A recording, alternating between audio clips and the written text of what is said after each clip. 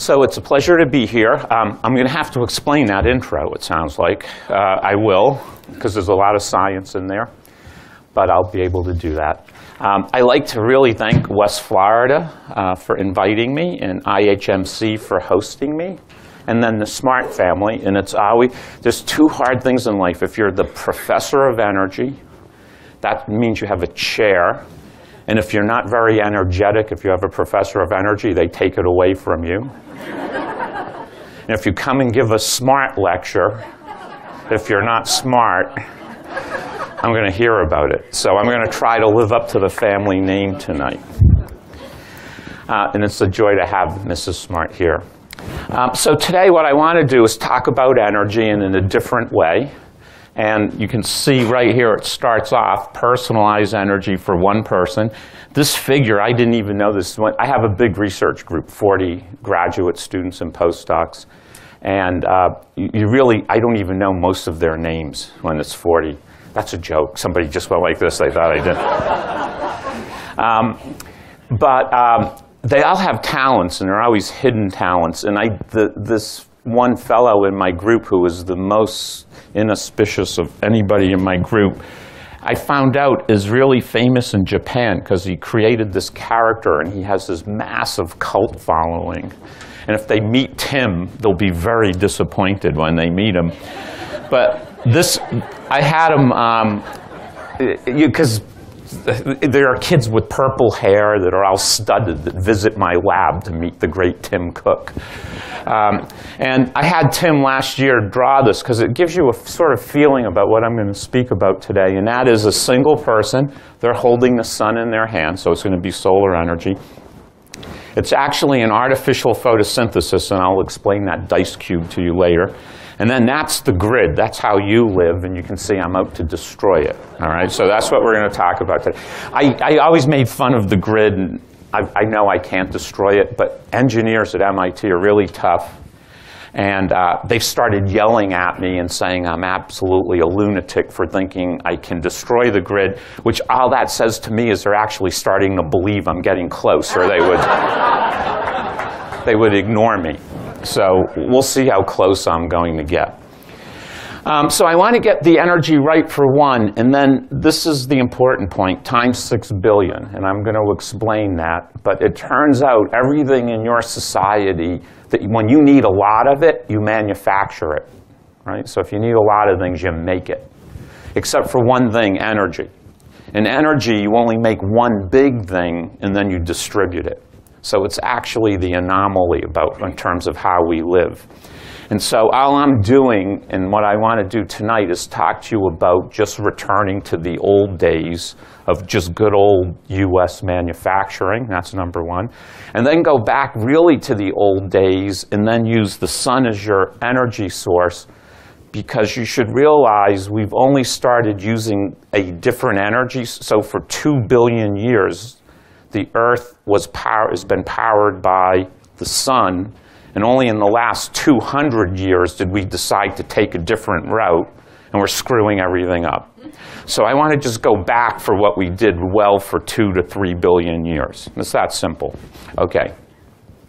So let's um, talk about this issue about solar energy for the 21st century.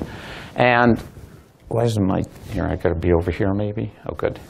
So um, this came from a, a, journal called Science. It's a very prestigious journal. And Ciamician wrote, if our black and nervous civilization based on coal and oil should be followed by one with solar energy, that wouldn't be harmful to human happiness.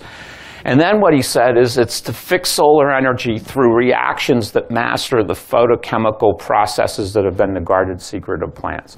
So here's a person that's in Science magazine saying we should probably use the sun and we should do it with photosynthesis. And that is very appropriate for the 21st century. The problem is, I, I kept the date out here. He, he wrote that in 1912, okay? And so if somebody writes something like that over 100 years ago and you thought that they wrote it last week, it must mean the most important thing is we're not really serious about this. right? Because nothing should be 100 years old and still ring true. So the first thing I'm going to sort of prove to you is we don't really care about energy, even though we say we do.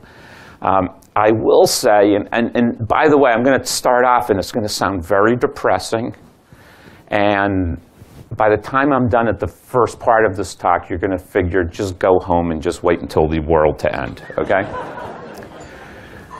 But actually, there's going to be a big message of hope. And the first message of hope is I've never seen more change in my lifetime in the last 10 years with regard to energy than anything else I know in society. I mean, it's on everybody's mind, no matter who you are, but all for different reasons. That's the only reason why it has legs, okay? But the bottom line is, I think we've turned the corner, at least as a society, and we're realizing we need to deal with this. So what I want to do first is tell you how you're living now, because a lot of people don't know that. And a few years ago, I did these global energy calculations. I'm going to explain. I, every calculation I do, I can do in real time. So I'm going to show you how I do these in real time. So the first thing is I need to define a, a, a unit, and that's 12.8 terawatts. So that's not energy, that's power. It's a 100 watt light bulb. So when you have a, that light bulb that's on, that's shining on me right now, that's got to get energy to be powered. And so the power that you get out of that, you have to feed it. And this is a 100 watt light bulb. You're burning in 2000 a 12.8 trillion watt light bulb. That's what the amount of energy is we're using. And that and power is energy per unit time. So you don't need to worry about whether I'm speaking about today or am I talking about energy for a week. It's energy per unit time. And so we're burning a 12.8 trillion watt light bulb. And then over here in these numbers in parentheses, I'm showing you that almost all that energy that powers that light bulb comes from oil, gas, and coal. So I haven't told you anything new. In the year 2050, I can calculate how much energy you're going to need. And I'm going to calculate that it's 28 terawatts. So we're at 13 in 2000, and um, in 50 years from now, from 2000, so now only 40, we're going to need 28 terawatts. And that's an easy calculation. Right? And it works. I can go into the future, and to test myself, I can go backwards and calculate in 1930 how much you used. And this formula works. And you just have to know three numbers. One is how many people are on the face of the planet, population. So if I know how many people there are. The next thing is GDP, gross domestic product per person. So in each country, I can take the United States and say, on average, we make this much money as a country and divide it by the number of people. So that's wealth, right? And then the last thing is energy intensity, and that means the amount of energy you use to drive a GDP. And so if I can use the same amount of energy and make my GDP go up, that's good. And that's called conservation. So all I did is I put a formula on conservation, which is energy use per GDP. Right, so if I know energy intensity, which is energy used per GDP per, per dollar. If I know how many people there are and I know how wealthy the population is, I can calculate energy for anybody. That's it. It's that simple. And so when you do that, you can get 28 terawatts. Now you have to figure out what did I put in here for numbers. So the first thing is for population.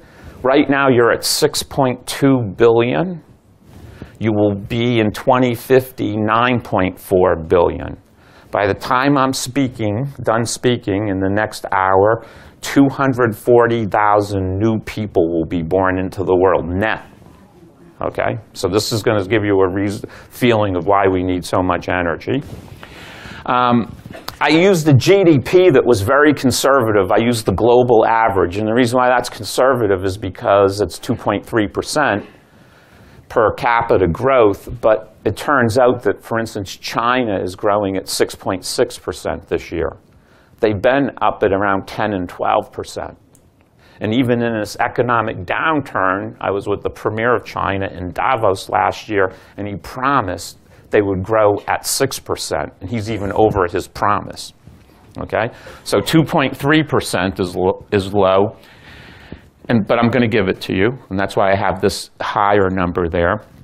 And then finally, what did I do for energy intensity? Because a lot of people now use these numbers. And then when I'm done, when people are done speaking, if I go to a talk and see somebody using these numbers, then I'll see all the questions saying, we need to conserve more. But they always forget, in my energy intensity calculation to get to 28, I assume that we're going to conserve 100% of the energy we use today. So I made the assumption you're using 13 terawatts that you will save 13 terawatts of energy in the year 2050, which is unprecedented. All right? So what that says is you're not going to conserve your way out of this problem. So in most of it's due to this population drive and then poor countries wanting to become rich, which we all want because for, for whatever, you for a number of reasons, but one of the biggest ones, my colleague is the ex-CIA director, is everybody knows you get a much safer world when people can all prosper in it. So that's why you should all want people to be prosperous. They aren't as angry. So here's the problem, and you're going to need 28 terawatts. So at the end of talk sometimes I'm going to preempt, like what can we do now to solve this problem? What's the biggest thing we could do? Well, now you know the equation. So what's the biggest thing you want to do? Can, die? Somebody said die? I'll, I'll make sure that's going to happen. Don't worry. Birth control. Yeah, you want to control population. It's that. So if I could keep the population from going to 9.4 billion, we'll need a lot less energy in the future. So if you go on the webs, you'll see they, have, there are terrible things people blog about me because I'm saying I should have social engineering to control population. So now here is my great social engineering Darth Vader plan to control population. Educate poor females. So every study has always shown if you educate poor people, and especially females, birth rates drop like a rock. Right? So I, am trying to convince you we don't care about energy that much because if we did, the first thing is you would all be stamping your feet to educate poor females. That's the biggest thing you can do right now. Right? I'm going to tell you about technology, but there's a big social sociology piece to this. Um, this takes the politics out of energy. So you can see here I have, this is energy use, and look at where the US is. We're terrible. What I didn't show you is there's 13 countries worse than us. Right? Now, the reason I didn't do that is because the last president didn't like me and put me on an FBI watch list. And so when I, I promised him I was going to be a better boy, and when I would go overseas, it's cathartic for everybody to get angry at the U.S. And so when I show this, they would get angry at me and be a little bit less angry at the past president. Um, now that he's not there, I guess I could put the other 13 countries on here that are worse than us, and there are. So you should know that. The United States is 14th ranked in energy use per person. Um, and I, am going to literally take the politics out of energy use, because you always hear that. Uh, there's too much politics in this. It's just science. So what did I plot here? I went to a DOE website, and I just took numbers, and I just made a plot. So you can do this at home. And what I did is I said, I want to see GDP per capita, GDP per person. So the United States is a very rich country, so we're way over here. We have a lot of money per person. And then I said, how much energy do you use per person? And I plotted it. So there's a whole bunch of good news and bad news on this plot. Here's good news. If you're the United States, look at you're growing your GDP and you're not using more energy. So that's good. And now here I'm going to show you the danger of energy talks. I can bias you any way I want because I could just tell you, look, we aren't using any more energy because we have great energy intensity, great conservation. That's partly true. On the downside, what I could do is grow a huge deficit and then let other people make stuff for us and then bring it into my country, which is what we're doing, and then let them get charged with the energy cost. All right? So there's two good pieces. There's a bit, good piece of good news and bad news. We are doing better energy intensity, but because we grow a big deficit in trade, we're letting other people take our energy hit. That's why this is flatline. The other thing is, if you notice, I don't see any countries going the opposite direction. They're all trying to reach the US. And that's human nature because everybody's trying to get richer, so that's good. Um, and so that's why the line's this way. If you want it, what, would you, what you would want is the line going this way, actually the other direction, because you would be growing GDP and using less energy. And then the thing that's really troublesome is 3.2 billion of the current 6.2 billion people are on the lowest part of this graph. And they want to move up, and that's what's driving the energy use. Okay? I can do a different calculation. I'm, i told you I want 30 terawatts for the future. So what I could do is take 30 terawatts, divide by 9.4 billion people, and say how much energy use per person will I need. So if I, if I say we all will live like an American, take this number and multiply it by 9.4 billion, you don't need 30 terawatts, you need 102 terawatts. And that's saying that the world will live like an American in 2050, which isn't going to happen. But you would need 102. If I say, who, to get to 30, who do you have to live like in the year 2050? But go visit that country and see their energy use today. Want to guess a country? Equatorial Guinea. Okay? Which isn't a high standard of living. So what I'm saying is you have to live at the primary energy use today of somebody in Equatorial Guinea, and I'm still going to need 30 terawatts. All right? So that tells you a different way how much conservation we're going to need, and we still need 30 ter Remember, I still need 16 more terawatts. So right now we're using 14. We're going to need 16 with unprecedented conservation. Why? I kind of already told you. One reason is that it's from the 6 billion new energy users. There's 3 billion people that are going to be born in the next 40 years, and there's 3 billion low energy users, and they're coming up. So that's what's driving it. And I call that the non-legacy world because they don't have a big energy system right now. So that's what I mean by legacy if you, if you have it, you got to use it. So you guys have a grid. You're going to use it. These six billion people, are, they don't have any energy. So it's kind of like new fallen snow with no footprints in it. And can we get in there and do something good before it gets messed up? Right? The next thing is if you're worried about carbon neutral energy or the environment or energy use, then my argument is you want to take care of these six billion people because they're the ones driving the energy use. I'm going to make the assumption that you in the legacy world will do the right thing and conserve. And if you don't want to, you will because it's going to get so costly you will want to by the end of the day.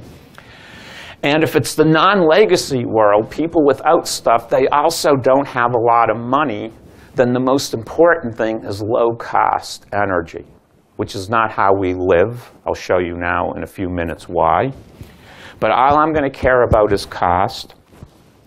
And the one thing you don't do is what we do in America, and that is whenever somebody asks how much an energy system is going to cost, you say, well, this is the current energy system, and then if you're going to use it for fewer people, I'll divide. I'll make it tinier.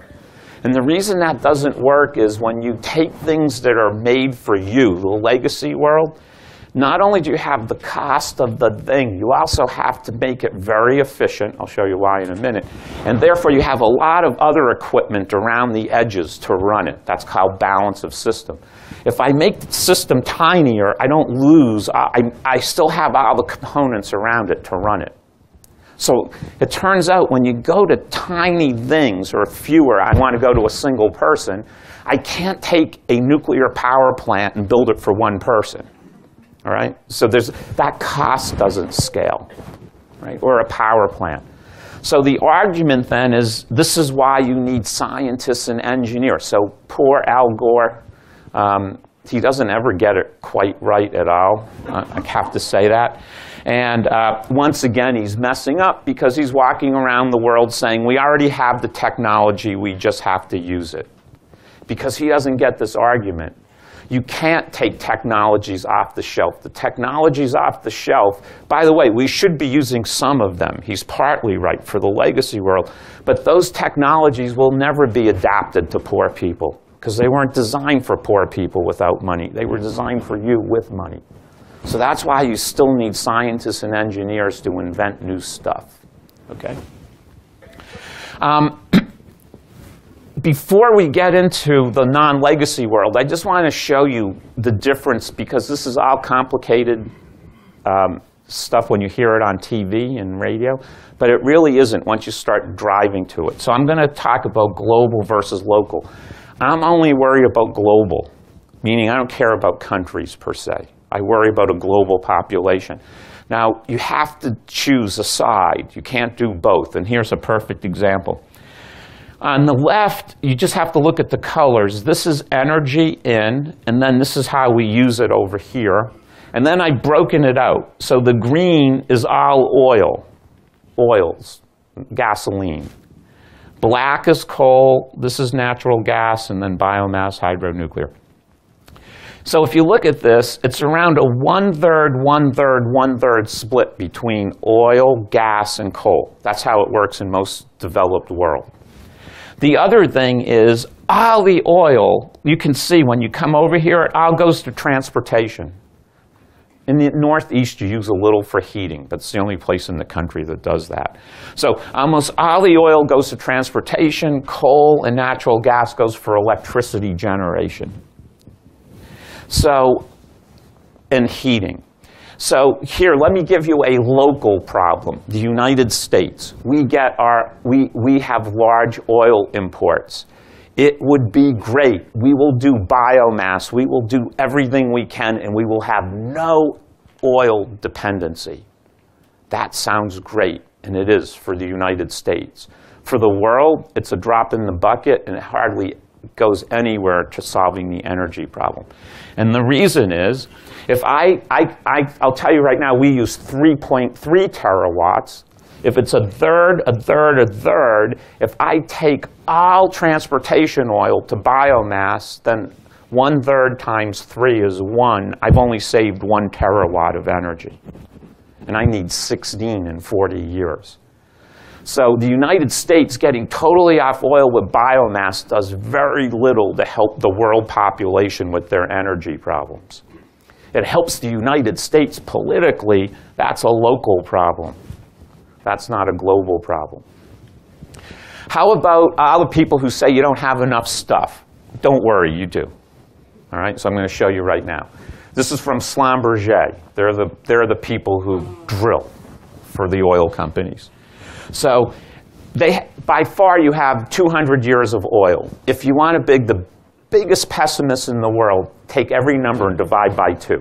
All right, you have 100 years of oil, 400 years of natural gas, divide by two.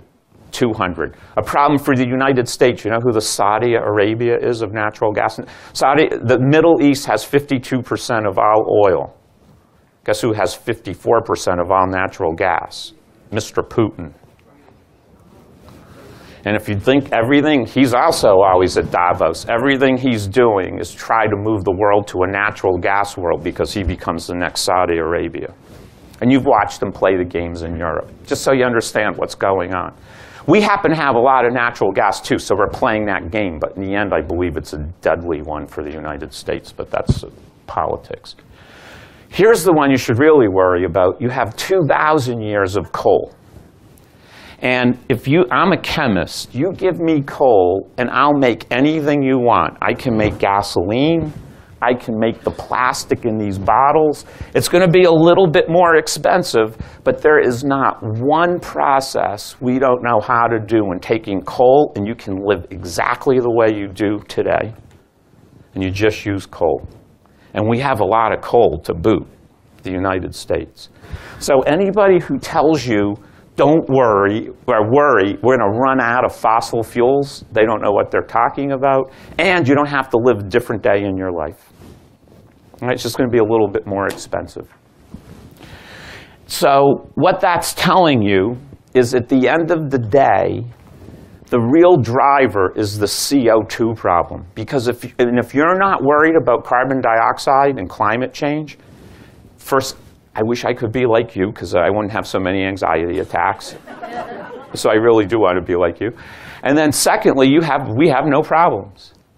And if you're worried about it, then you have a big problem because you're putting a lot of CO2. And the discussion I just had with you was what kids do. Okay, so I just want you to understand, I'm not going to talk about climate change. I don't really care if people believe in it or not. But I do care about dialogue and the level of dialogue. To say whether you believe in it or don't is what kids do. That's yes or no. The real question, because you now understand that energy use scales with GDP, gross domestic product, how much are you worried about it? How much are you willing to pay for it? And then as an adult, that's going to vary all over the map. And that's the discussion we should be having as a country. Not whether you believe in it or not. And the reason why you should always just discount anybody, anybody who says they believe in it 100% or doesn't believe in it 100% is because they're not a scientist and they don't know what they're talking about because nobody knows what the equation is that says T equals this amount of carbon dioxide. It's unknown in science. If you don't know the equation, you can't say yes or no. It's that simple. That's what scientists do. All right? So this whole issue of, issue of carbon is whether, how worried are you, and then how much you're going to pay for it which becomes an adult discussion, right? And if you're going to pay a lot, remember, you're going to have to slow your GDP. And the economy's already in bad shape. So this is very complicated stuff. I wish I could make it easy, but. And then we have politicians who really screw it up. Okay. So let's do now global CO2. I just want to say a few things just so you understand the carbon argument, because I'm always on TV and I hear all this junk from people. So let me just give you science facts. I'm just going to give you facts. And I'm going to just things that people love being misconceptions. They like seeding doubt in your mind, either for or against. So the first thing is this is the rise in carbon in the atmosphere since 1958. So it's going up. We're at 315 in 1958, and now we're at 380 in 2004. This is what's called the Keeling curve. If you watch the Al Gore movie, he made it sound like he invented it. Okay, so that's, that's what that is. Okay. Um, you should know that carbon has never been above 315 for 650,000 years. Right? That's a science fact. And the way that you can do that, that's easy. You go through an ice core, and then there are bubbles in the ice, and you just count backwards, like tree rings, and you go back 600. We, we've drilled deep enough to go back 650,000 years. There's a bubble. I put a syringe in the bubble. I take it out. I put it in the GC, and I measure exactly how much CO2 was in the atmosphere. So this is science. It's pretty easy to do. All right? So we've never been over this for have we ever been over 310 ppm? Yes, we have. It's been outrageously high at points in, in, our, in our global history. The problem was is there wasn't 6.2 billion people trying to live off of the planet and cockroaches were this big, okay? So when people say we've been there before, we were, but remember it was a very different looking world that will not support 6 billion to 9 billion people. Right, so that's number one. Number two, I, I, get this argument a lot when I'm on TV for the naysayers is one of the, they'll, they'll always say, how could we do this? We've only been adding 2% of the carbon. So how can I go from 310 to 380 in a few years? We were talking about 650,000 years. If, and I can account, under that curve, I can show that every bit of it has come from us burning fossil fuels. How could that be? How could I go from 300 to 400 in 40 years with only putting a 2%. And what that means is there's this massive carbon flux coming into the atmosphere and then getting refixed by the Earth. And we're only perturbing it by 2%. So let me do a little calculation for you. You're a 200 pound person. You take in 3,000 calories, and then you try to expend 3,000 calories. I'm going to say over the course of one year, I want you to expend 2% less calories. You're going to add 2 2% on. So if you're 200 pounds, you're going to be at the end of a year 204 pounds. And then at the end of the next year, you're going to be at 208.2 pounds. And you can do the math. In 40 years, you're going to be over 400, 500 pounds.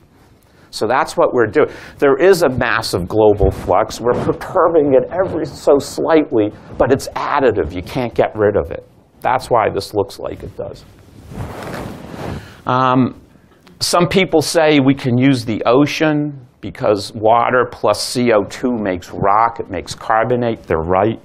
The ocean's big. The problem is when they do those calculations, I have to use the near ocean because the bottom of the ocean's really cold and there's a thermocline, and the water doesn't mix, hot water and the cold water. So unless I put a stir bar in the ocean and I can't use the ocean. It's a thousand year mixing time. Um, here's some great data. This has all been in the news. You've heard about it. I'll, again, people were just saying it just was this East Anglia thing. And those, those scientists in England were stupid because scientists shouldn't do anything except explain data, and they were trying to spin. Here's some of the data they were trying to spin. Look at between 1940 to 1980. You see it going down? Here's, so here's temperature is going down, temperature's red, and concentration of CO2 is going up from 1940 to 1980. Look at that. And that's real data. Okay, so what, so if you don't want to believe in global warming or climate change, you say, aha, look at 40 years, it's going in the opposite direction. But I, I got to show you what that is to a scientist. Here's 450,000 years. That's noise. Okay? So here's how temperature and CO2 track each other for 450,000 years. But that's 450,000. I just took a 20, a 40 year snapshot here. People who make movies and use Hurricane Katrina, they're even worse. They're only taking one day. Are you getting a feeling I don't like Al Gore very much? and I don't like him because he's misrepresenting things for his story, and then it's very easy to attack right? So we should always keep this on a, a science data level, all right? So that's, that, that's what is noise for a scientist. And what we do is we look at big trends over years, and that's what has us worried. All right? So just so you know, I scientists. So we're a bit worried about CO2. Let's look at some more complicated things. I'm going to make it really simple. We'll do some chemistry now carbon plus water, I make CO2 and hydrogen. Hydrogen you can use as a fuel. It's, it's the most dense fuel. So I'm going to normalize the amount of energy in carbon to hydrogen. So if I take one carbon and mix it with two waters, I get two hydrogens and one CO2. If I take methane, CH4, and then I mix it with two waters, I get one CO2, but I get four hydrogens, meaning methane is twice as good, as good a fuel as carbon. And that's why you're going to hear a lot about carbon credits, right? So you're going to, you're going to have pricing of carbon. A lot of people want to go to natural gas because they're going to save a factor of two in cost if they're going to be charged for carbon dioxide. That's what this formula is telling you. Now let's get some really complicated stuff if I take the amount, this is the stuff that people like at Copenhagen and Kyoto, and then everybody gets upset. And this is why. Because now I'm going to try to charge you for carbon. And you is every country in the, in the world. And what you can see is the amount of energy used scales with the amount of carbon. So if you use more energy, you use more carbon. It turns out we're all on an oil line. So remember, coal's the worst. I put more carbon. Gas is twice as good. It doesn't get rid of carbon, remember. It's just half of it. And then oil's right in between. It's because oil, on average, has three, two hydrogens. So carbon has no hydrogens in it. CH4 has four, carbon has two. That's why oil's in the middle. And you can see we're all on an oil line. The United States is a little bit below oil because we use a lot of natural gas. Um, this is interesting. Who are always, what country is continually out of step with the entire world? France. Okay, so here they are. Look at, the, look at France. Now, that's why you're going to hear more and more about nuclear, whether you like it or not. Because France is heavily nuclear. And look at, if you're worried about carbon, if prime, remember, primary energy use scales with GDP. So they're growing their gross domestic product, they're becoming richer, they're using more energy, but they're not adding any more carbon in the atmosphere. So that's why you're starting to hear even environmentalists say maybe we should consider nuclear, because France is doing the experiment for us. We can collect the data. Okay, I'll get to more nuclear in a minute. So what this is telling you and what the French have shown is you have to cut the tie between carbon use and energy. It's the only solution. Okay? Now, we've had this problem before, so how are we going to do it? So I got this article. This is from the New York Times. Actually, Eric Morris is in the transportation department at UC Davis, and this is a great article he found. Um, in 1898, everybody from around the world, another global problem, got into New York City because they were worried about desperation by horse manure. The situation seemed dire. The Times of London said that in 1950, every street in London would be buried nine feet deep in horse manure. And this is true because people just extrapolated. And then one New York uh, worrier concluded that horse droppings would rise to Manhattan's third story windows. And no possible solution could be devised because they could never see that the automobile was on the horizon, which stopped that. So, what this just tells you is shift happens. You like that one? I really worked up to that. So we can have shifts when you have technologies. You can shift. That's a paradigm shift, okay? And so obviously, and that's what we're saying now, is we need a paradigm shift in energy use that cuts our tie with carbon. But I like this because it just shows you when it looks really dire, all right? All right, so let's, let's have some paradigm shifts. I'm going to now calculate a future for you. And this is, I got a lot of heat for this many years ago. Now nobody's arguing because they've all done the calculation. So here's the coal oil gas base of 10.2 terawatts. I don't want to touch that.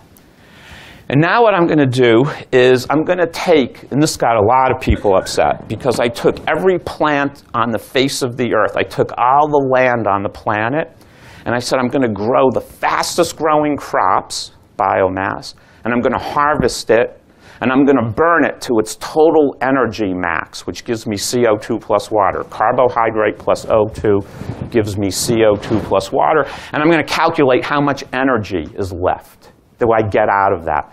So if I take every crop on the face of the planet, I'll save enough for you to get 2,000 calories per person a day. I take everything else, you only get five to seven terawatts. Okay? And that's taking the full reaction. We can't do that today in science. We don't know how to burn cellulose, hemicellulose, and lignin, the woody stuff. We don't know how to do that efficiently. So we can only burn sugar or carbohydrate. So corn, it's only the little yellow things. We leave the stalk behind. All right? I made the assumption that I could burn it all and I can only get five to seven terawatts. Why? And the reason is, is the theoretical efficiency, and this is all I'm showing you here, is I can take the amount, we know everything, a lot about photosynthesis. If I take, there's two photons in, I can calculate how much energy went in, and then I can see how much energy was stored. It turns out you only, the theoretical efficiency is 30%. But plants don't absorb the whole solar spectrum. So then when I take normalize, it's only absorbing one third the light from the sun, that gets you down to 10.5%. You can never do better in photosynthesis. Right? There's no, that's the ceiling. It's the theoretical upper limit. And in my calculation, I took the fastest growing crops, which are 1%. Because remember, plants don't grow at night, right? And there's crop cycles. So you can't do better than 10.5. fastest growing plants are one. Why do you hear about algae a lot? Algae are pretty darn good. They can get up to 5%. That's why you hear a lot about algae, which is amazing. They're halfway to the theoretical efficiency. So that's why they're tiny. How about nuclear? Remember, I'm just trying desperately to get to 28 terawatts now. So I need 8 terawatts of nuclear. I already told you it's carbon neutral. So all my things here I like because they're carbon neutral. So if I want 8 terawatts, then I, this is, let's do this calculation. Eight, a, a nuclear power plant puts out a gigawatt. 8 terawatts divided by a gigawatt's 8,000 and it's 2010, so in 40 years from now is my mark. So 8,000 divided by 40 is 200, and that's per year. And so I need to build 200 nuclear power plants a year, or one every 1.5 days for the next 40 years. Okay? And I forgot to tell you, you decommission the nuclear power plant at the end of 50 years. So the one you started building today, just when you're done, you got to start rebuilding again to decommission the one. So you're doing it forever to give me 8 terawatts. How about wind? T. Boone and I went at this at the Clinton Global Initiative. Um, I finally won. The easy way is he de-invested all his money in wind quietly over the summer when he found out he couldn't get you guys to invest in it so he could become rich. Um, here's the problem with wind. I, I can do the calculation or I can just say this to you. Anything you can put your hand through this easily is not a good energy source. If you want to do the calculation, you can't create or destroy energy. You, so sun comes in, that's the driver for wind, solar energy. It's 100,000 terawatts. Take the atmosphere, divide it into thirds, lower, middle, upper atmosphere, one third times 100,000 is 30,000. For the last 100 years, mechanical engineers have shown that the amount of energy transfer of sunlight to wind is 1%. 30,000 times 0.01 is 300. The land mass on the face of the Earth is 2 fifths. 300 times 2 fifths. All of a sudden, you're at no energy. That's over the entire face of the planet. T. Boone tried convincing people because he wanted you to invest in it, and finally the bottom fell out because that's just the physics of wind. But this is really all you need to know. And then damn, every river We've dammed every river. There's only a terawatt left in hydroelectric. So all the plants on the face of the earth, I'll leave enough for you to eat. A new nuclear power plant every 1.5 days. Windmills everywhere. You're getting two. That's 10 meters. If you go a little higher, you can get 100 meters. You can get around four and a half to six terawatts. But that's over the entire face of the planet on land. And I dammed every river. So that's what you're in store for for the next 40 years. That should scare the hell out of you. Because what you're going to do is just keep filling it up with brown, gray, and black. Okay? And that's why a lot of us want solar. So you can look at the numbers. There's a lot of it. The cloudiest day, there's a lot of it. All right? The cloudiest days in the world are in Bavaria. They have the highest solar market penetration the cloudiest place on the face of the earth versus the sunniest in Australia just means that you need twice the, num- twice the area of solar panels on your house. If you go to Australia, all my friends, academics, they always use solar. Um, they're using one eighth of their roof. So we're talking about half a roof. I'll show you at the end of this for a cloudy area. Um, sometimes people, you're going to hear in the, ne- in the future a lot about water too. Water, water, water, water, water. And you, and you should be worried about it because this climate issue is driving water issues. You should realize if you do the energy thing right, you go a long way to solving the water problem. So you drink in the US 4.8, 4 trillion gallons of water you use 70 trillion to just cool your power plants. Okay? So most of your water use, whether you've ever realized it or not, is to generate energy. For every kilowatt of energy, kilowatt hour of energy you use, you're flushing half a gallon of water down the drain. The average American uses 30 kilowatt hours, so you're flushing 15 gallons of water down the drain, irreplaceable, to give you that power at your house. So if you get the energy thing right, you do a lot for helping the water problem. So why aren't people using solar? What everybody will tell you is photovoltaics are too expensive. There's two problems there. One is for five years ago, they were $8 peak watt. Now they're a buck 25 to 2, depending. First Solar will be delivering $1, 25% peak watt. That's a factor of 8, and you haven't changed, so that's number one. Why, why haven't you changed? There's two reasons. One is that when you do your calculation, you're going to find out that it's still much cheaper to use coal at 3 cents to 5 cents per kilowatt. So that's the problem. It's not solar's too expensive, it's coal's too cheap. And you don't put a price on coal. So particulates, whatever you're doing with CO2, when the ocean rises by another half a foot and you spend trillions and trillions of dollars to protect your city, none of that's in the calculation right now. Right, so that's the first problem with coal. And then the second problem with solar is that if you can't store it, you're not going to use it because you can't use it when the sun's only out. Oh, where's my, wait a minute. Oh, don't look at that. Okay, so here's where the sun is out, and you can see here's the sun right here.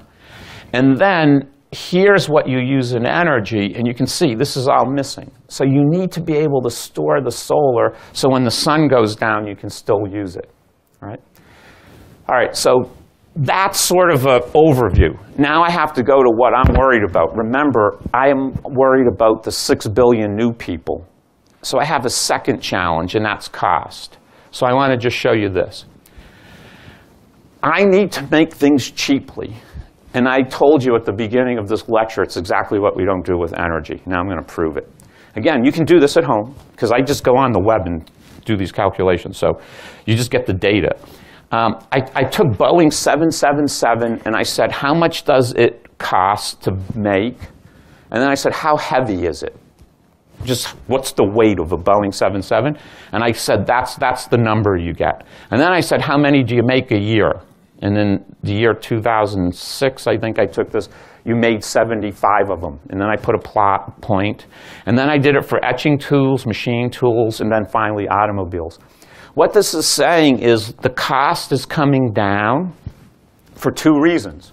One is this is lighter than that. So in a heavy manufactured environment, I'm telling you, I don't care what the stuff is that you're manufacturing, it's going to cost $10 per pound at the limit. And I'm telling you, the way to get the cost down is you make a lot of them. You don't make a few of them. So if you make a lot of things that are light, you're going to get the lowest cost, and you're going to asymptotically hit $10 per pound. This will not work for pharma, because that's a high-valued thing. It won't work for commodity chemicals. It won't work for Intel chips. This is stuff you make, just heavy-duty manufacturing, which is what energy systems are about. What do we do in energy? And here's the problem. This is why you can't do what we do for poor people.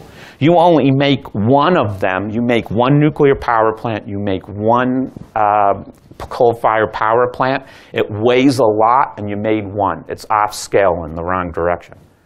Now, how can I get away with that? It's because you're rich, so when I make it, I can take 40 years to get all my money back from you. Right? But if you're poor, I can't do that. So that's the discontinuity with the way we live for these six billion. If you don't believe how, how good this is, some of you already saw, look what, the, this means I have a relationship. I have things that are very different on the same curve. There's McDonald's, okay? So I got McDonald's hamburgers on there. So what I'm saying is, and that's about the truth, go, go figure out what it costs and then put the tomato and the lettuce and the price per pound per meat, and you'll get, you'll get 10 bucks per pound for a hamburger from McDonald's. So what that's saying is if you're going to try to get energy to these 6 billion people, you can't do this, and you have to become the McDonald's of energy, which is light and fast throughput manufacturing. Okay? How does photosynthesis work? it stores energy. So I'm going to go through this quickly. You remember this probably that light comes in, hits water, and it makes hydrogen and oxygen, right? That you probably didn't know. It makes actually NADPH, but light splits water It makes oxygen plus hydrogen. It then takes the hydrogen and fixes it with CO2. So what you remember is light, water, and CO2 makes oxygen and sugar. But the CO2 part doesn't store energy. Matter of fact, there's no energy storage here. Hydrogen plus CO2 to make sugar or carbohydrates, that's an engineering problem. Plants need to stand up, so they need to make cellulose. There's no energy storage here. All the stored energy of the sunlight is simply in water splitting. This is an engineering problem. This is called the Calvin cycle. So if I'm worried about energy, I don't need to do this part over here. I just need to split water. Now, what, what's photosynthesis really doing? So what's a fuel? Here's carbon, carbon, carbon, hydrogen. That's gasoline plus oxygen. I'm going to burn it. Here we go. Okay, I just burned it. And I made water and CO2. So watch this again. The reason why you should watch this is anybody does PowerPoint. That took me 14 hours to do. Try to do that at home. It's that part that you never use in custom animation. That's what I used there. Okay, so I took a carbon-carbon-carbon hydrogen bond, I made CO2, so I took high energy bonds, I just rearranged them, and I took the excess energy and used it. What photosynthesis does is it takes low energy bonds of water it rearranges them and makes high energy bonds of oxygen and hydrogen, and the sunlight drives that. So when the sunlight goes into the plant, it's, it's simply driving the rearrangement of water to bonds, OH bonds in water to oxygen and hydrogen. You then use it in your body. And in case you don't believe that, I'm going to tell you something that's mind-blowing, because you probably have never thought about this, and you shouldn't. I don't know why you would until somebody tells you, so I'm going to. Photosynthesis is taking water to oxygen plus this hydrogen, this NADPH. And then the hydrogen gets fixed with CO2 and makes carbohydrate. You then eat the carbohydrate. The plant, what you do in your body right away is get the CO2 with the hydrogen. You get rid of the CO2, you breathe that out, and you get the four protons and electrons back. Then what you do is inside your body, you have a thing called cytochrome C oxidase. It's an enzyme in your mitochondria. It takes the oxygen plus the hydrogen and electrons. So the O2 that the plant made over here, you breathe in. It takes the hydrogen from the carbohydrate, and then you make water, and you take the excess energy. And that powers you. That's what's happening right now in your mitochondria. In case you've never realized it, and this is the honest truth, I've taken light, I've rearranged the bonds of water to oxygen and hydrogen, and then CO2 to sugar. What are you chewing? So I put the light energy and rearrange bonds, and then you bite it. So when you eat a green leafy vegetable, what are you chewing? You're chewing the sun, if you've never thought of it. And that thing is then getting that energy, mitochondria, your cytochrome C oxidase is coming out inside you in a way that you can use it. But you literally are chewing a piece of the sun because those photons have been stored in the rearranged bonds of oxygen if you've never thought of it. So that's why I'm telling you I'm a throwback because I just want to go back to this model. And what I would like to do is take water now, have sunlight hit it, and make hydrogen and oxygen, and then you can burn it in your house and power your life, just like you've been doing with, that's how we've designed this whole planet. So I can tell you in one liter of water, if you take hydrogen water and rearrange it, you can store 13 megajoules of energy. That's the MIT swimming pool. It has 3.2 million liters of water. If I can take, now I got to make this a power. Remember we were doing terawatts? This is energy, how much energy is in a liter. So now I'm going to tell you this thought experiment. Take this pool of water and convert it to hydrogen and oxygen per second to get power, a power. So what I'm going to ask you is take the volume of the MIT pool and convert it to hydrogen and oxygen globally per second to hydrogen and oxygen. Not, you don't have to do it just here in Pensacola. It's going to be global. And remember, you don't use it up because when hydrogen and oxygen recombine, just like in your body, you get water back in energy. So you're never using it up. So I want to just basically operate on the MIT pool globally per second to hydrogen and oxygen. Guess how much energy you, say, you get? 43 terawatts. So remember I needed to get to 16 with all those draconian measures? What I'm telling you is you only need one-third an Olympic-sized swimming pool getting converted to hydrogen and oxygen globally, and I will give you 16 terawatts of carbon-neutral energy. And I want to do that for poor people. So that's your way out of this mess. Okay? But because it's for poor people, it has to operate out of just a glass of water. It has to be simple. If you operate under simple conditions, then it's cheap and easy to manufacture. I need to move towards McDonald's. And the hard part with splitting water with sunlight, by the way, and this is true in photosynthesis, is getting the oxygen out to leave the four protons and electrons behind. And that's called photosynthesis. That's what photosynthesis is doing. So up until two years ago, nobody could do the basics of photosynthesis, split water to oxygen and hydrogen, store light in the rearranged bonds of oxygen and water, just out of a glass of water. Now, you can go on the web and buy a commercial electrolyzer for $50,000 and do that. But they have to operate under super harsh conditions, and then you get those big balance of systems costs I was telling you about. This has no balance of systems if I can do this. So I'm going to go quickly now to end this. That fellow, Jim Barber, is a professor at Imperial College. He's a biologist. He, in the last few years, has figured out exactly what the plant looks like inside. And once, this is called the crystal structure, the Kodak moment of a plant. And once he got that, we could go in and look inside his structure. It's just a photograph, effectively, of the plant. And I could see what was splitting water. And the thing that was splitting water was a simple piece of rock.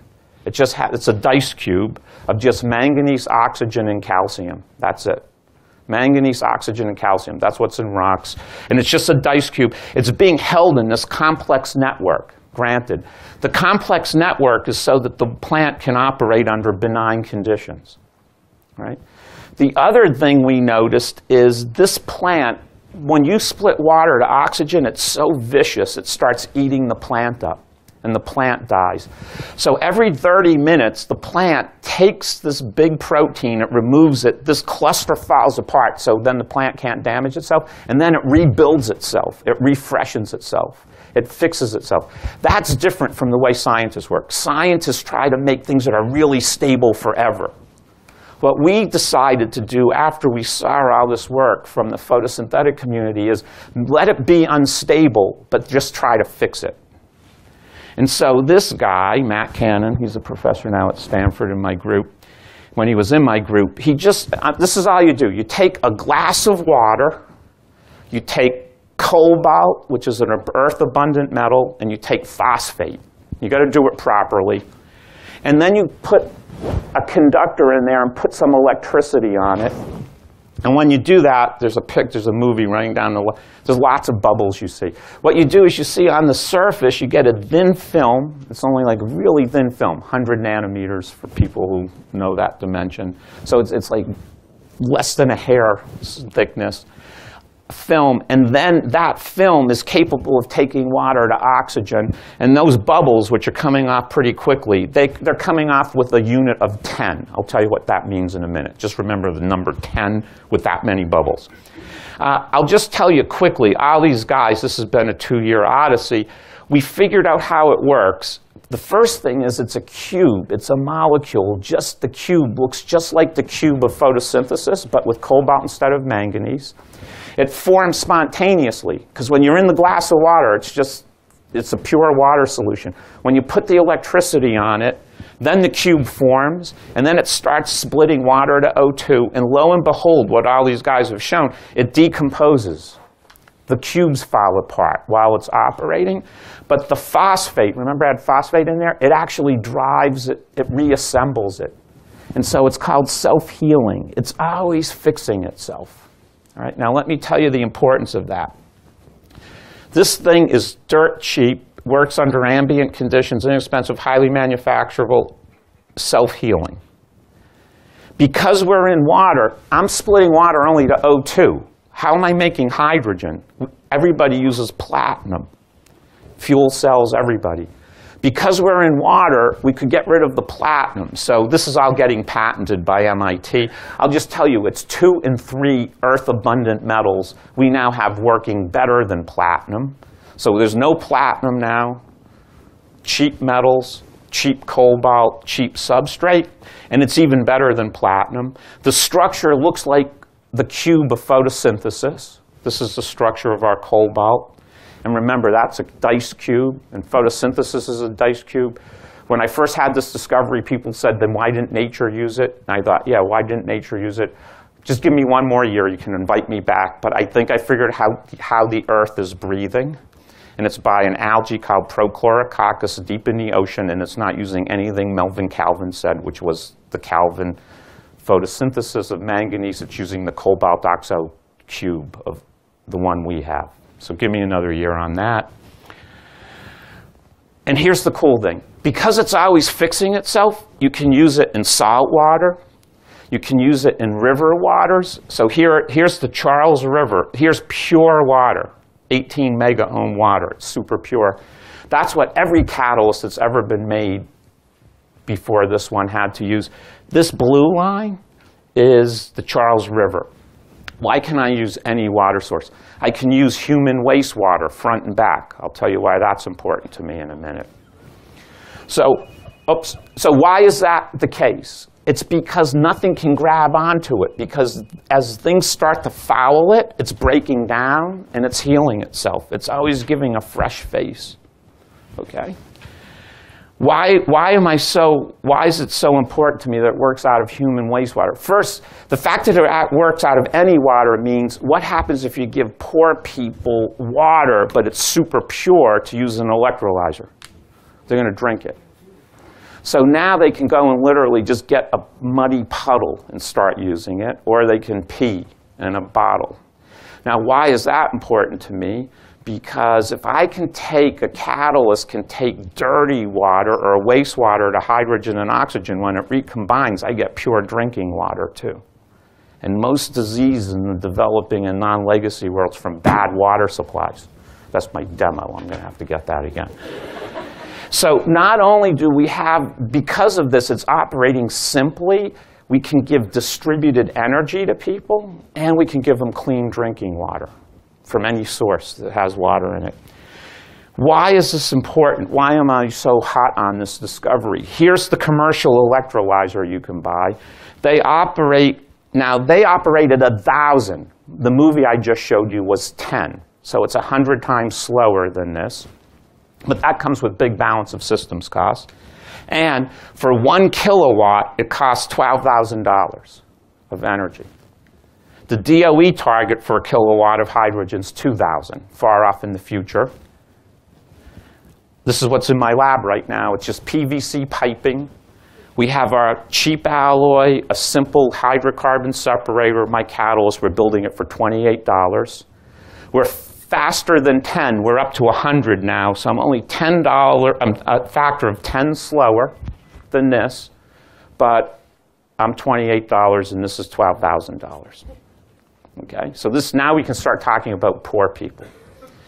The other cool thing is even the $12,000 thing needs clean water. I can use any water source. Okay? So that's where we're at right now. That starts to say, can you have sunlight? This is how you would live in even the legacy world. This is now off-grid. Sunlight hits the PV. Use the sunlight during the day to run your house. Take a little of the electricity, feed it to my $28 thing, make hydrogen and oxygen, put it in a tank, then feed it to a fuel cell. When hydrogen and oxygen go in a fuel cell, you get current out. So I can power my house at night.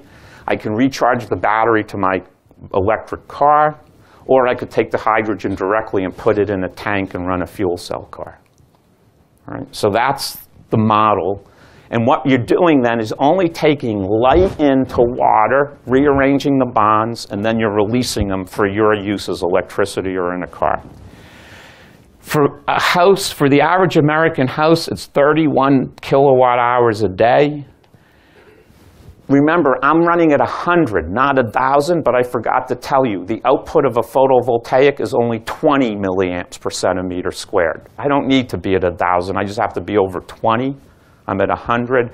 So in less than three and a half hours with uh, three and a half hours for a PV, photovoltaic, six by five meters on your roof, I can split enough water to store enough energy for you to use for two days. Because during most of the day, you'll be using the PV directly. I'll just take half of it to split water. So now, people worry about storing hydrogen. You should worry about storing hydrogen in terms of volume, except most of the hydrogen discussions are for cars. You can't put that tank in your car. But you can bury this outside, and at 200 bar for a tank that big, 110 liters, I store enough hydrogen for 31 kilowatt hours a day, what you need. Right? This isn't Disneyland. It's happening. So on January 14th, Honda, who has all these beautiful fuel cell cars, but guess what they can't do? They can't, you can't take hydrogen and ship it around like gasoline, and you can't have hydrogen gas stations. It's not going to work. But you could think about building a house and do exactly what I said and split the water and just become your own gas station. So Honda is making a refueling station for the home. Because if they can do that, that cracks their problem with hydrogen distribution. They can start selling fuel cell cars. So this is happening. They're making a huge investment for the legacy world. I'm going to come in. They like me now because I'm going to come in with a really cheap way to split water for them, right? So here's how it's going to work. The PV is cheap enough. I'm telling you right now water splitting cheap enough, H2O2 storage cheap enough, fuel cells cheap enough. I can go on the web with using commercial stuff, forget about what I just did, and for around $85,000, I'll build you this whole system using commercial stuff. So why aren't you doing it? Because when you go and do the price thing with coal, you're still going to come cheaper. That's number one. The other reason you're not going to do it, as soon as it breaks, there's no service industry for you. So there's got to be a tipping point here. But I want to just, this is a really important point. We can do this now. There's no science, showstopper. The showstopper simply cost, right? And we just took a big step in reducing the cost. For poor people, the storage and splitting is now cheap. The PV will be cheap. We're entering a big agreement with a big company that's about to deliver us really cheap PV for the poor. The question is, can I get a cheap fuel cell? That's not obvious yet. So people like Honda and Toyota are back in Japan looking really hard to see what they can deliver me. We've done this before. Mainframes, this is how it was in the 70s. Personal computers. What's the mainframe of energy? It's this thing. Personal energy, follow the logic. This is all I can find now with, the only place you can find mainframes is in the dump. Look what's going to happen to the grid. I'm serious. I'm out to destroy it. That's what it's going to look like by the time I'm done. Um, just to tell you where it's going, because people always say, where's it going commercially? I'm a scientist. You don't want, I can't organize a group. I can't take a group around a block for one trip. I, we get confused. So uh, this is what you do. That guy, what I did, instead of staying with energy people who want to own everything, what people, well, you just saw my logic, it's these guys. This guy invented the Ethernet, not internet, Ethernet, the LAN software, and he started a company called 3Com. He owns it. That guy invented the largest water desalination company in the world called Ionics. He went into retirement at 71 after selling his company to GE for 1.6 billion. At 75, four years later, I got him out of retirement and I said, Art, do you want to try doing what you did for water desal with energy? So this thing's being run by these guys. It has lots of people, but it's all the computer people, not the energy people who want to own everything. Because that's what the computer people had to do. The way this is going to work is with good partnerships. I have my thing, I need your thing, and your thing, and your thing, and we'll make this go. The energy people just want to say, I'm going to own everything, and then it takes forever or they shelve it. So this is happening. We have some good people here helping me. That guy ran the CIA, and that's not important. I'm ending with this. That's it. That's the amount of water you need for 31 kilowatt hours a day. I'm holding it. For poor people at 100 watts, remember now, this is for a, a kilowatt, a thousand watts per hour. I could change people's lives with one tenth that. The amount of water I need is two of these bottles a day to hydrogen and oxygen. And you don't use it up, it comes back. Okay?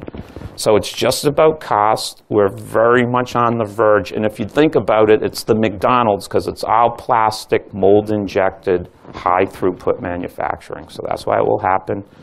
Um, I'd like to thank you for your attention, and I'll answer any questions you have.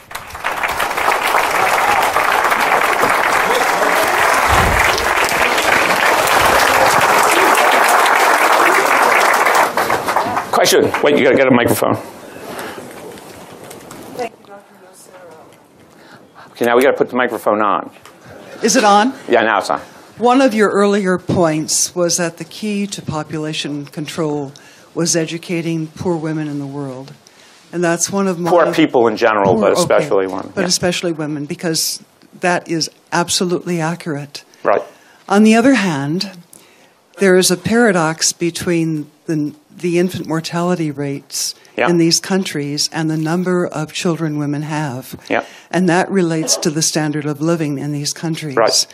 So, if we could have a combination of your science and the political will and the lack of the chauvinism that exists in our country, where, whereby we only want to take care of the people here Right. and not recognize that we're all in this thing together. Yep. Um, anyway, I just wanted to get that point across. Yeah. So that's Thank really you. that's really important what you said.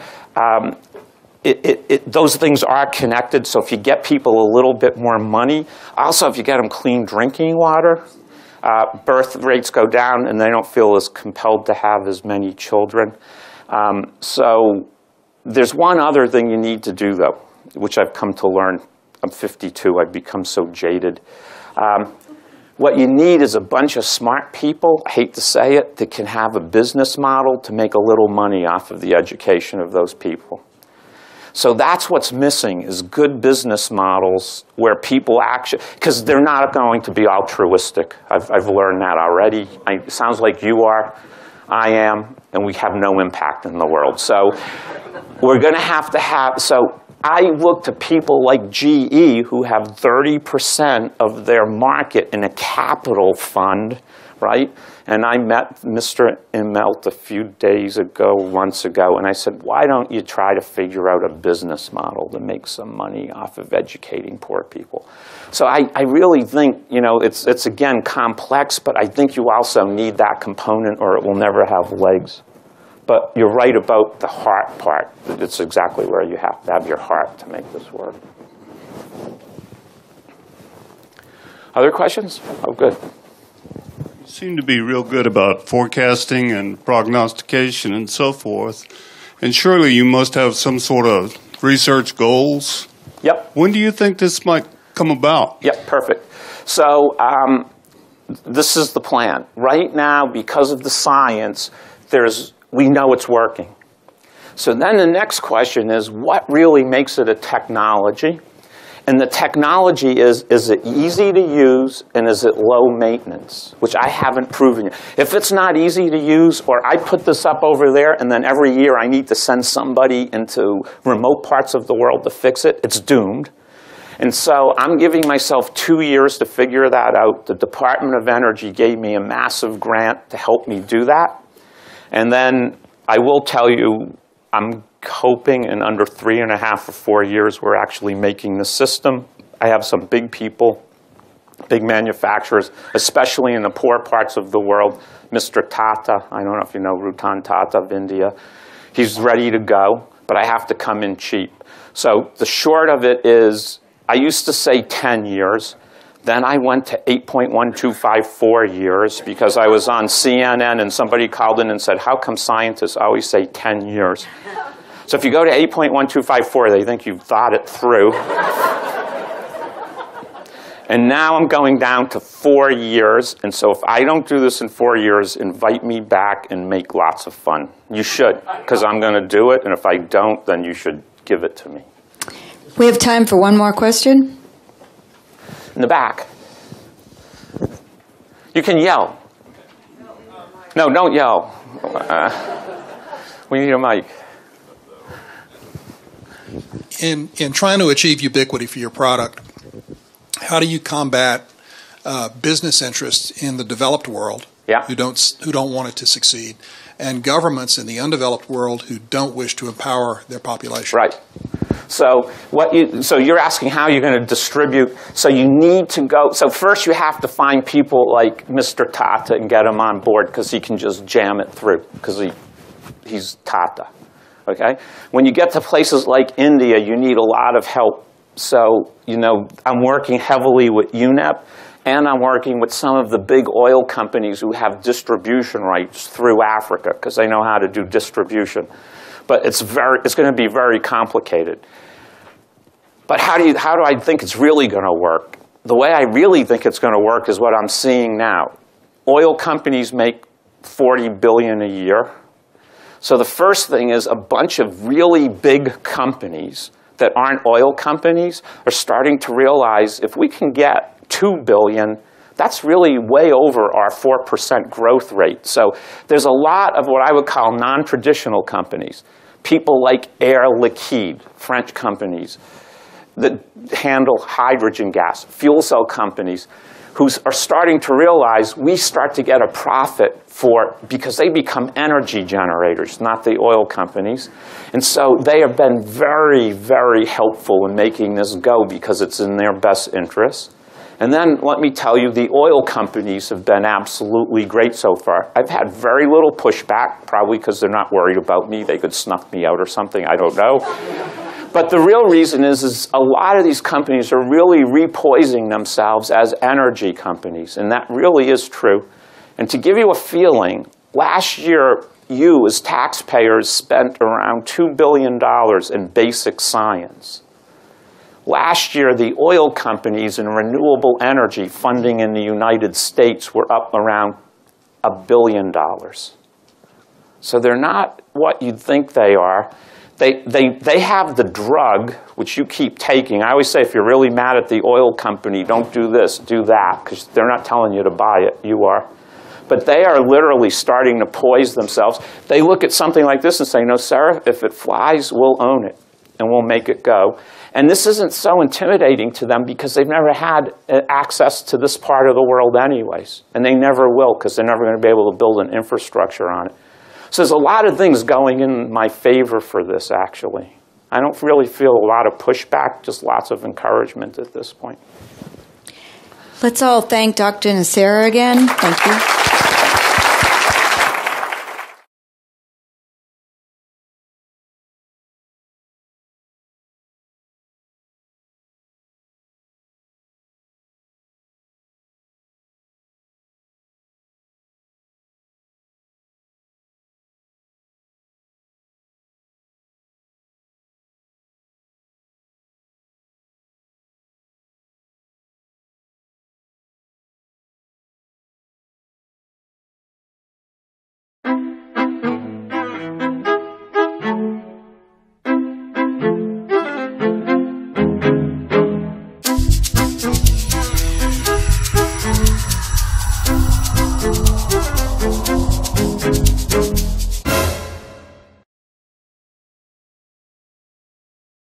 So it's a pleasure to be here. Um, I'm going to have to explain that intro, it sounds like. Uh, I will, because there's a lot of science in there, but I'll be able to do that. Um, I like to really thank West Florida uh, for inviting me and IHMC for hosting me, and then the Smart family. And it's always, there's two hard things in life. If you're the professor of energy, that means you have a chair, And if you're not very energetic, if you have a professor of energy, they take it away from you. and if you come and give a smart lecture, if you're not smart, I'm going to hear about it. So I'm going to try to live up to the family name tonight. Uh, and it's a joy to have Mrs. Smart here. Um, so today what I want to do is talk about energy and in a different way. And you can see right here it starts off personalized energy for one person. This figure, I didn't even know this. One. I have a big research group, 40 graduate students and postdocs. And uh, you, you really, I don't even know most of their names when it's 40. That's a joke. Somebody just went like this. They thought I did.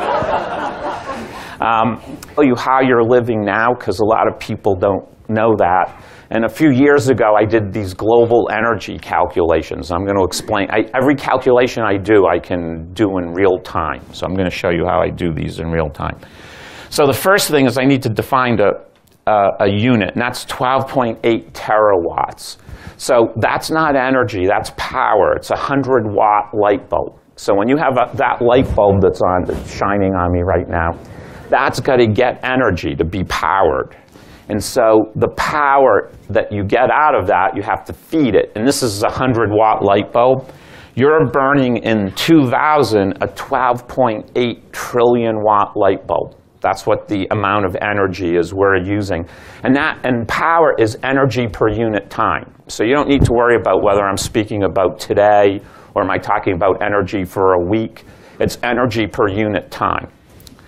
And so we're burning a 12.8 trillion watt light bulb. And then over here in these numbers in parentheses, I'm showing you that almost all that energy that powers that light bulb comes from oil, gas, and coal. So I haven't told you anything new. In the year 2050, I can calculate how much energy you're going to need. And I'm going to calculate that it's 28 terawatts. So we're at 13 in 2000, and um, in 50 years from now, from 2000, so now only 40, we're going to need 28 terawatts. And that's an easy cap in the guarded secret of plants. So here's a person that's in Science magazine saying we should probably use the sun and we should do it with photosynthesis. And that is very appropriate for the 21st century. The problem is, I, I kept the date out here. He wrote that in 1912, okay?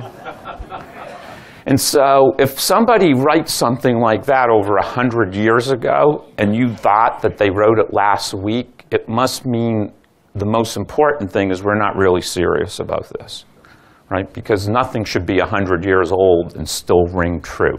So the first thing I'm going to sort of prove to you is we don't really care about energy, even though we say we do. Um, I will say, and, and, and by the way, I'm going to start off, and it's going to sound very depressing. And by the time I'm done at the first part of this talk, you're going to figure just go home and just wait until the world to end, okay? but actually, there's going to be a big message of hope. And the first message of hope is I've never seen more change in my lifetime in the last 10 years with regard to energy than anything else I know in society. I mean, it's on everybody's mind, no matter who you are, but all for different reasons. That's the only reason why it has legs, okay? But the bottom line is, I think we've turned the corner, at least as a society, and we're realizing we need to deal with this. So what I want to do first is tell you, when you need a lot of it, you manufacture it, right? So if you need a lot of things, you make it. Except for one thing, energy. In energy, you only make one big thing, and then you distribute it.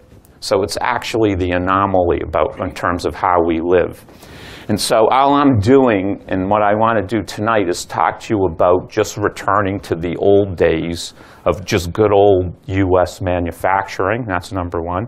And then go back really to the old days and then use the sun as your energy source because you should realize we've only started using a different energy. So for two billion years, the Earth was power, has been powered by the sun, and only in the last 200 years did we decide to take a different route, and we're screwing everything up. So I want to just go back for what we did well for two to three billion years. It's that simple. Okay. So let's um, talk about this issue about solar energy for the 21st century. And why is the mic here? I got to be over here, maybe. Oh, good. So um, this came from a journal called Science. It's a very prestigious journal. And Ciamician wrote, if our black and nervous civilization based on coal and oil should be followed by one with solar energy, that wouldn't be harmful to human happiness. And then what he said is it's to fix solar energy through reactions that master the photochemical processes that have been. But um, they all have talents, and they're always hidden talents. And I, the, this one fellow in my group who was the most inauspicious of anybody in my group, I found out is really famous in Japan because he created this character and he has this massive cult following. And if they meet Tim, they'll be very disappointed when they meet him. But this, I had him, um, because there are kids with purple hair that are all studded that visit my lab to meet the great Tim Cook.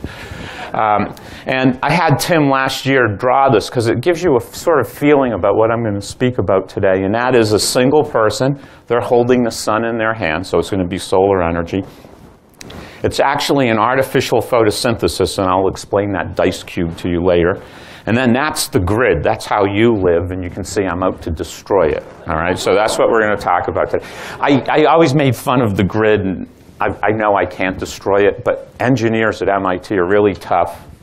And uh, they've started yelling at me and saying I'm absolutely a lunatic for thinking I can destroy the grid, which all that says to me is they're actually starting to believe I'm getting close, or they would, they would ignore me. So we'll see how close I'm going to get. Um, so I want to get the energy right for one, and then this is the important point, times 6 billion, and I'm going to explain that. But it turns out everything in your society